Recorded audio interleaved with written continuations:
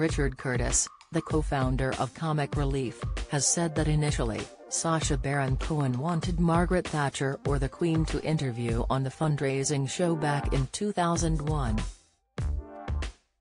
However, the Ali G actor eventually compromised and interviewed David Beckham instead, with hilarious results. Speaking to this week's Radio Times, Richard recalled his top comic relief moments, I did love Sacha and the Beckhams. When all those years ago I got in touch with Sacha Baron Cohen, he said, I'll do it if you can get me the Queen or Margaret Thatcher, or I'll compromise on David Beckham, if that's the best you could do.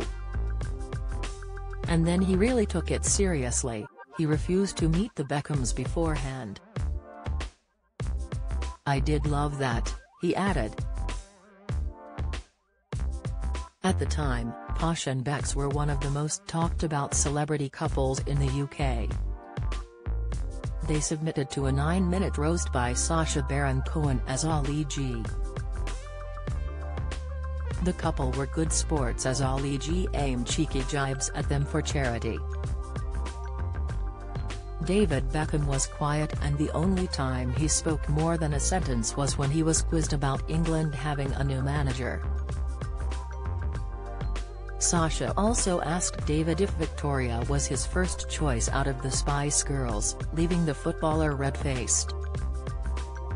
During the interview, Victoria famously revealed that they conceived their first child, Brooklyn, while she and David were in Denmark, but explained they were in Brooklyn when they found out about the pregnancy. Viewers over the years have loved the vintage clip, especially Victoria's sense of humor and David's difficulty handling the situation.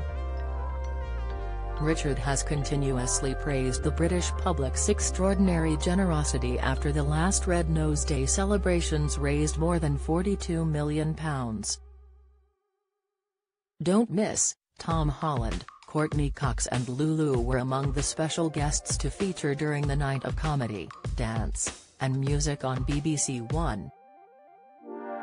He said, the highlights are all the comedy, and we know that in advance, but then, there is, the outpouring of generosity when you hear the phones ringing and that people are still being generous and enjoying the show. After all these years even, I still think there are four of us here and we helped 11 million people last year. Comic Relief Chief Executive Samir Patel also praised the legendary generosity of the British public. He told BBC Breakfast, times are tough. We have had a pandemic, the cost of living crisis, the situation in Ukraine, and we are so grateful for every single pound that came in, and that is what's amazing, people will come out to help other people at times of crisis. Reflecting on the total, Mr. Patel added, we are completely astounded, given everything that is going on, at how much people came out to support other people. Comic Relief's Red Nose Day will take place on Friday, March 17. It will be broadcast live on BBC One and will be available to stream on iPlayer. Read the full interview in this week's Radio Times, out now.